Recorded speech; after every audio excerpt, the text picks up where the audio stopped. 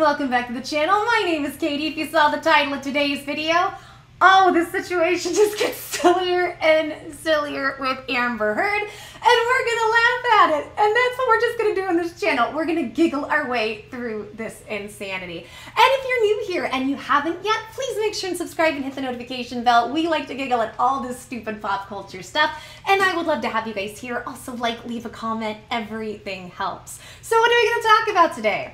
Well, as you guys know, if you've been following my channel or following the story, Amber Heard, she and Elaine Bredehoft, which is her main attorney, they are trying to call not just for an appeal, they've said they're going to appeal this, but they've also tried getting this verdict completely just thrown out. They're trying to get all of this done and over with for Amber, and they're even calling for a retrial. But there is one very, very important key to this that they are missing that could get this appeal completely thrown out altogether.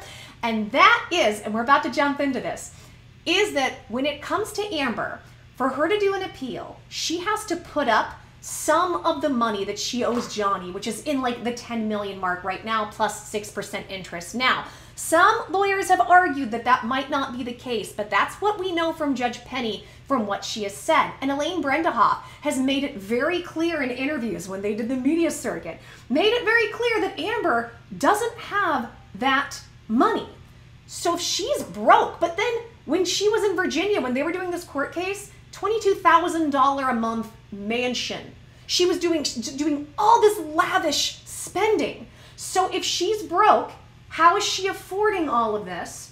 Who's paying for it? Which I have videos on that too, and I'm sure you guys have heard some of those rumors. And what is actually happening? Well, a lot of people are saying that right now, everything that's going on, and even her paying Johnny, has to do with insurance she has from defamation. But we have some inside information into what is actually going on with that insurance company, what the policies are, and how that can affect Amber trying to get an appeal, a mistrial, or a redo of the whole trial. All right, let's jump on and let's check this info out because this is uh this is some spicy court stuff. So we have this is from the New York Post. It says Amber Heard is broke due to mounting legal fees and lavish spending. Now, the article's a little bit older, but there are points from this I want to take to explain what I'm talking about. And it says, Amber Heard can't pay the 10.4 million she owes Johnny Depp, her lawyer revealed Thursday. As sources told the Post, the actress is broke due to hefty legal fees associated with the bombshell defamation trial. Oh, absolutely not. Heard's attorney, Elaine Bredehoft, told NBC Today when asked if the actress had the means to cover the hefty judgment handed down by the jury on Wednesday. The high profile court battle with her ex husband has left the 36 year old actress hurting for cash, according to sources, including one who also placed the blame on Heard's past lavish spending on travel, clothes, gifts, and wine. How much money is that in all of these things? I don't know a part of me is like, it's not my business, but then this has all become our business. so is it or is it not? And it says multiple sources said the Aquaman star had to switch legal representation and is relying on her homeowner's insurance policy to cover the costs of her current attorney fees in the case.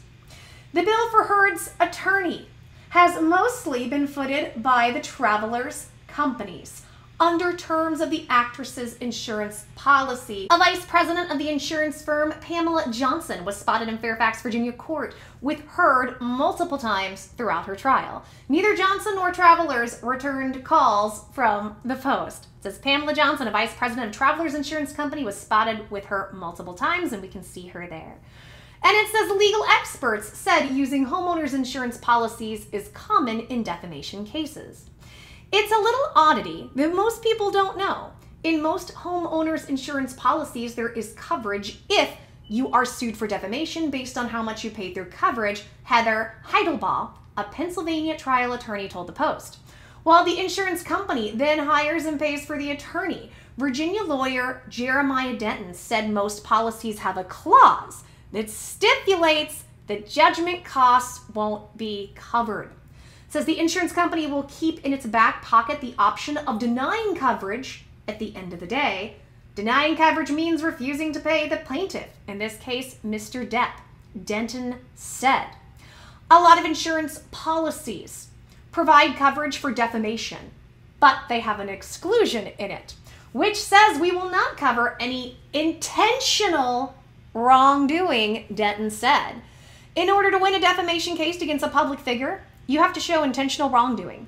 Sometimes what it requires to get the judgment kicks you out of the policy that may pay for the judgment. That is the dilemma. Representatives for Heard and Bredehoft also didn't respond to the Post's request for comment about the star's financial situation. Heard's net worth has been estimated at between 1.5 million and 2.5 million as of Thursday, according to the Celebrity Net Worth site and other outlets. A far cry from what she owes Depp in the wake of the jury's ruling. Amid the lurid six week defamation trial, Heard and multiple witnesses have testified that the actress might not have the funds to actually pay her ex husband. I mean, Bredehoft came out and said she doesn't have the funds court testimony revealed that Heard was paid 1 million for 2018's Aquaman and another 2 million for the sequel, which is due out next year. Her role in that movie has been significantly reduced, but now it's actually been doubled. Witnesses testified about how Heard's, uh, Heard lost several brand endorsements, including one with L'Oreal, after Depp's lawyer launched a smear campaign against her. Heard also never made good on her promise to donate the 7 million she received from Depp in their 2016 divorce settlement to the ACLU and the Children's Hospital of Los Angeles. Remember, pledged, donate. She testified the donations were delayed because of her legal fees and bills. A representative for the ACLU told jurors that the actress cut the last check for the charity in 2018, but then stopped making payments because we learned she was having financial difficulties. Depp sued Heard in 2019. She testified that she had every intention of still making the donations, telling jurors, I would love him to stop suing me so I can.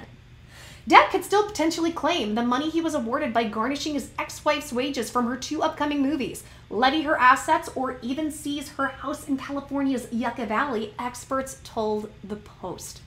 The three bedroom, three bathroom Desert Oasis has been valued at $1 million. Herds purchased it in 2019 for $570,000 under a private trust in the name of her account and her accountant, according to property records seized by the Post. If she doesn't have the money, then this avenue, while she's pursuing an appeal, is to try to execute on property she owns or her bank accounts, Virginia appellate lawyer Stephen Emmerich said. He added that if Depp wants to find out where Heard's assets are, he could serve her with a summons for debtors interrogatories, where you summon the debtor to come to court, and his lawyers would get to ask her questions saying, What property do you own? What real estate do you own? What vehicles do you own? What jewelry do you own? What art collections? Anything else that they could use to grab and sell at auction to try to pay down and pay off ultimately this judgment. Denton said that if Heard doesn't turn over the judgment's money, Depp can institute collection proceedings so he can garnish Heard's pay if she has a salary or wage type income or if she ever does in the future. He can attach her assets, which basically means seize them. He can get assets, sell them, and take the cash, says Denton. Now, here, in my opinion, here's an interesting thought, guys. What if in all of this, she goes through with her book deal, gets a million bucks, Johnny turns around, resues her for defamation, and then he takes the money from the book and garnishes her wages. I'm just saying it would be very, very entertaining. But here's where it's at, guys. So if she can't pay her legal fees, or if that insurance policy doesn't in any way, shape, or form cover the expenses for Johnny, how is she going to actually do an appeal? Which makes me wonder if this is why she's trying to do a mistrial and a retrial. Don't know. What do you guys think? I'm so interested to hear what you guys think. Sound off in the comments, let me know. Also, if you are new here and you like this video, make sure and subscribe. Hit that notification bell, give me a like. It all greatly helps. And otherwise, we're to end the silliness here and we're to wait and see what happens. Okay, guys, take care. Lots of love, lots of blessings. Till the next video, I'm giving everybody hugs. Mwah! Kisses, stay safe, and I will see you soon. Bye, guys.